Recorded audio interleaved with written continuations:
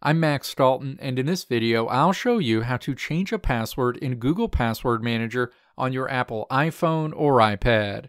Step 1. Open any web browser on your iPhone or iPad, navigate to passwords.google.com, and then sign in to your Google account if you're not signed in already. You'll land on your Google Password Manager home screen.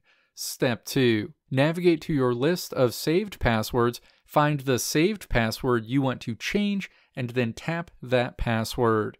The information associated with that saved Google password is shown. Step 3. Tap Edit on this screen. A window pops up where you can edit your saved password.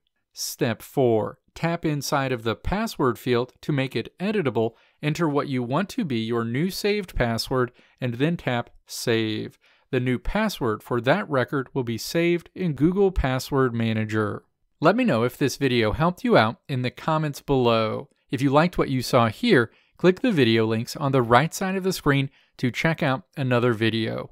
Or click the logo on the left side of the screen to check out my tutorial website at www.maxdalton.how.